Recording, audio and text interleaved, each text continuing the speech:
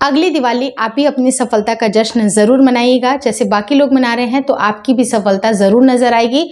अगर आपने कुछ चीज़ों का ध्यान दिया तो आपको भी वो स्वीट सॉस ऑफ़ सक्सेस ज़रूर चखने के लिए मिलेगा, क्योंकि एक सफलता की जो मिठास होती है, सफलता की जो एक चटनी होती है, उसको भी चखने का आपको सौभाग्य ज़रूर मिलेगा।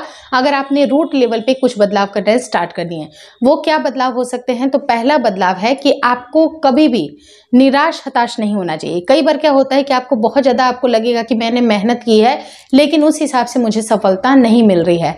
जो कि बहुत सारे लोगों के साथ इन्वॉल्व होती है चीज़ें, आपको लगता है कि नहीं, अभी मुझे सफलता नहीं मिल रही है। लेकिन आपको वो काम को छोड़ना नहीं है, बल्कि उसमें लगे रहना है, डटे रहना है। हाँ हो सकता है कि आप अपना रास्ता बदल करके देखिए, आपको लगता है कुछ चीज़ें चेंज करके देख लो, क्योंकि एक ही डर पर अगर आप चल रहे हैं और उसमें कोई भी आप परिवर्तन नहीं ला रहे हैं, ना आपके बोलने के तरीके में, ना आपके सोचने के तरीके में कोई बदलाव अगर नहीं आ रहा है तो उससे भी आपका जो ग्रोथ है वो स्टेगनेंट यानी कि रुक जाएगा। तो ऐसे केस में आपको कुछ बदलाव ज़रूर लेनी है। अगर आपको लगता है कि कुछ कुछ चीज़ें एज अ मार्केट के भी हिसाब से आपको देखना है कि कुछ चेंजेस अगर आप करते हैं तो आप देखिएगा कि आपके चेंजेस करने से भी आपकी सफलता आपके कदम चुमेगी। क्योंकि सही डायरेक्शन पे अगर आपने काम करना स्टार्ट कर दिया, साथ ही साथ कुछ ना कुछ इनोवेशन भी अगर आप कर रहे हैं, कुछ ना कुछ नई तकनीक भी ला रहे हैं, आपके सोच विचार भी बदल रहे हैं तो डेफिनेट बेसिस पे आपकी सफलता आपको मिलेगी। दूसरी चीज़ है कि आपको कई बार ऐसा लगेगा कि नहीं, मैं कुछ भी कर लूँ, कुछ भी कर लूँ, अगर मैं सोना भी छू रहा हूँ तो वो मिट्टी में बदल जा रहा है। इस तरह की निगेटिव थॉट्स आपको बिल्कुल भी अपने ऊपर हावी नहीं होने देनी है। कई बार क्या होता है कि चीज़ें आपके हिसाब से नहीं चलती हैं। लेकिन यकीन मानिए दोस्तों, आपको ऐसा सोचना बिल्कुल नहीं चाहिए, क्योंकि जब भी अगर आप इस तरह की बातें सोचते हैं, आप खुद से बहुत ज़्यादा निराश, हताश हो जाते हैं। और कहा जाता है कि मन के हारे हार और मन के जीते जीत। तो वो मन से ही आपको जीतना है सबसे पहले तो इस तरह की कोई भी निगेटिविटी अपने ऊपर हावी नहीं होने देनी है। और जो चीज़ें आपके मन की हो रही है तो बहुत अच्छी, लेकिन अगर मन की नहीं हो रही है तो मे भी उसके अंदर ज़्यादा अच्छाई छुपी हुई है। तो आप थोड़ा सा सब्र रखें, अपने काम को इनोवेट करें, अपने चीज़ों को थोड़ा सा एक्सपेंशन की तरफ़ लेके जाएँ, कुछ ना कुछ सोचें और निरंतर मेहनत करते जाएँ, आपको सफलता ज़रूर मिलेगी। लेकिन कहा जाता है ना कि ये जो निराशाएँ हैं, हताशाएँ हैं, जब वो हमारे ऊपर हावी होने लगती है तो हमारी अच्छी आई हुई भी चीज़ें गड़बड़ हो जाती हैं।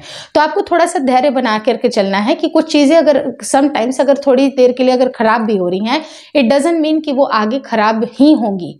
आपको कोशिश करनी है, उसको इम्प्रूव करना है धीरे धीरे धीरे करके आप जब उसको टाइम दीजिएगा तो धीरे धीरे करके वो सही होना स्टार्ट हो जाएँगी। तीसरी चीज़ है कि एकदम पकड़े रहना है उस चीज़ को, यानी कि पकड़ करके रखना है निरंतरता। जो एक निरंतरता होती है कंटिन्यूटी होती है, ये कंटिन्यूटी का आपको बिल्कुल भी स्किप नहीं करनी है। जहाँ आपने कंटिन्यूटी यहाँ पर रोक दी, कई बार क्या होता है, हमारी आलस की वजह से, हमारी निगेटिव सोच की वजह से कुछ ना कुछ बहाने या आलस से हो सकता है मूड नहीं है, करने का मन नहीं है, इस तरह की कोई भी भावना मत लेके आइएगा।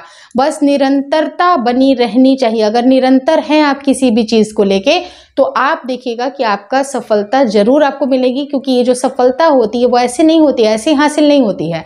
उसके पीछे मेहनत करनी पड़ती है। तो चाहे आपका जो भी आपका, अगर आप उसको 95 परसेंट दे रहे हैं तो अच्छी बात है 10 परसेंट दे रहे हैं तो अच्छी बात है 50 परसेंट दे रहे हैं तो अच्छी बात है, लेकिन हर दिन आपके चेंजेस होते रहेंगे। कई बार कुछ चीज़ें होती हैं जिसको आप प्रायोरिटी के रूप में लेते हैं। फॉर एन एग्ज़ाम्पल की कोई इमरजेंसी चीज़ आ गई, वो चीज़ आपने रोक दी।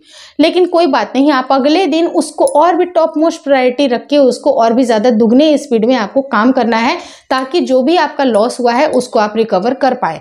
तो होपफुली आप मेरी बात समझ पा रहे हैं कि आपको उसको सबसे टॉप मोस्ट प्रायोरिटी पे रखना है।